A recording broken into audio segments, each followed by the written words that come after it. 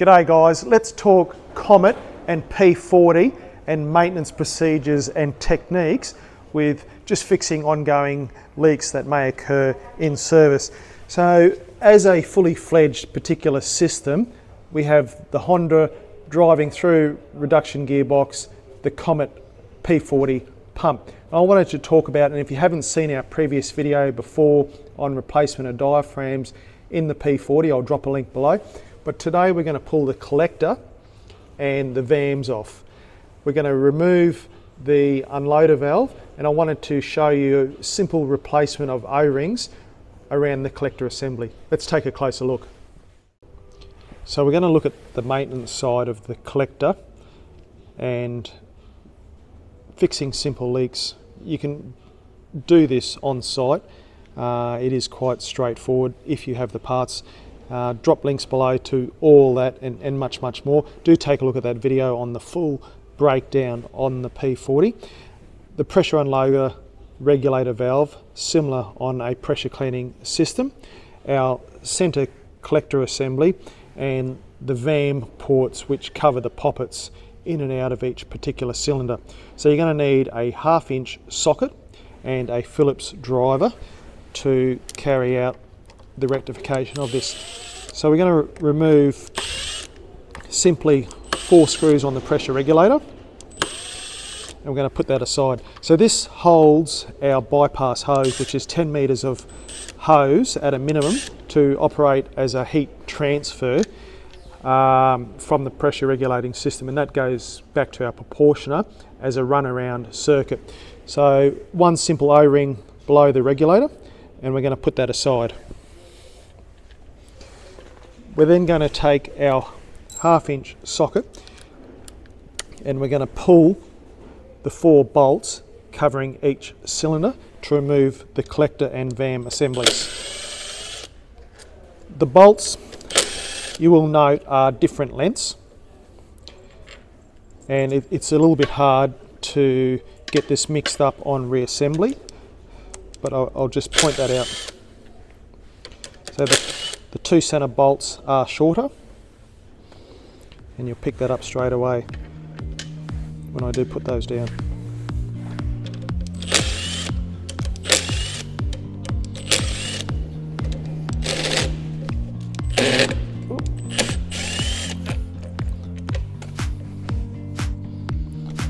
Pull those and put those all aside. It is uh, advisable too to have some O-ring lubricant. Uh, we use a commercial grade of petroleum jelly.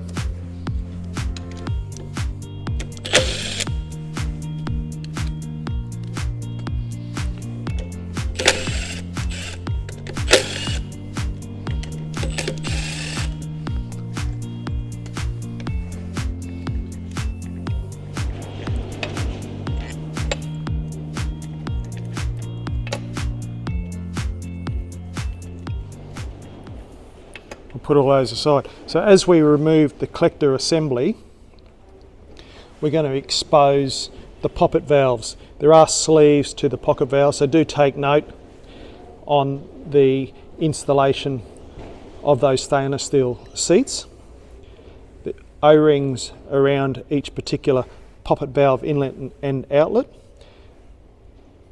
So quite simple. So the collector assembly itself the center collector is, is made up of these VAM ports. And if we pull on a VAM port,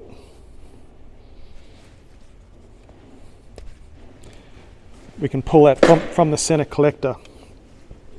And you'll note here that there's four O-rings on each collector to VAM assembly. So I'll grab a bit of lubricant. We can replace those O-rings if required.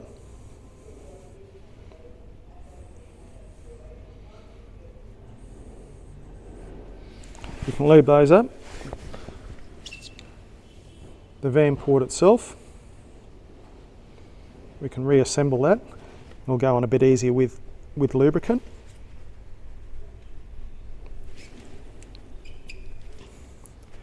You can reseat those and push those back on. And we can reinstall the collector VAM assembly. Take note of installation.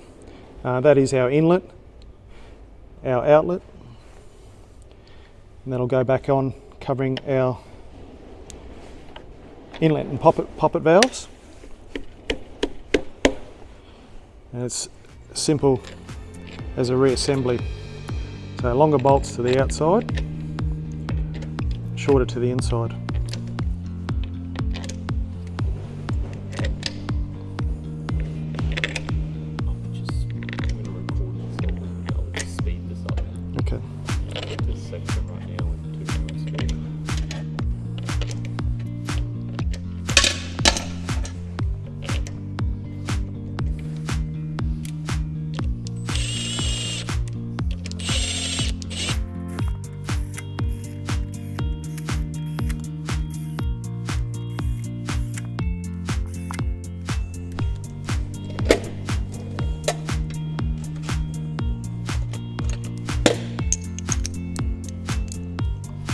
Simply go around and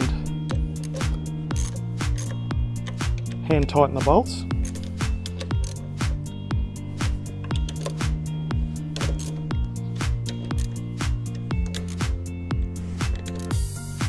We are seating back on O-rings, so they don't need to be super tight.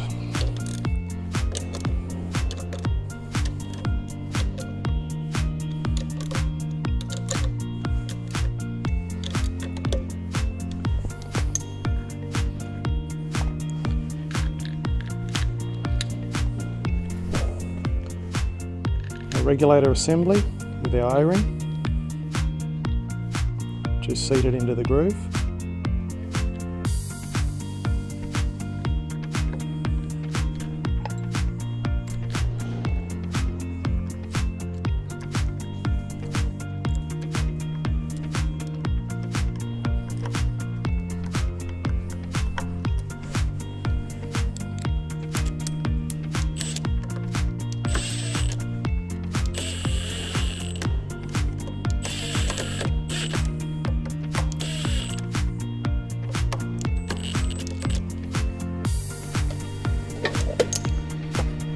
So you can see by that overall task, not too daunting, especially when you've done it once or twice before.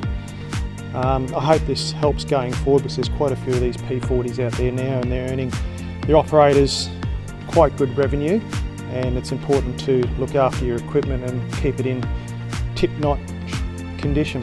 Hope this video does help. Um, check out all our other videos online under the YouTube channel which is bluetongueindustries.com.au. Uh, the YouTube channel, Blue Tongue Industries, you can see all that. Parts below. We'll catch you on the next video. Thanks guys.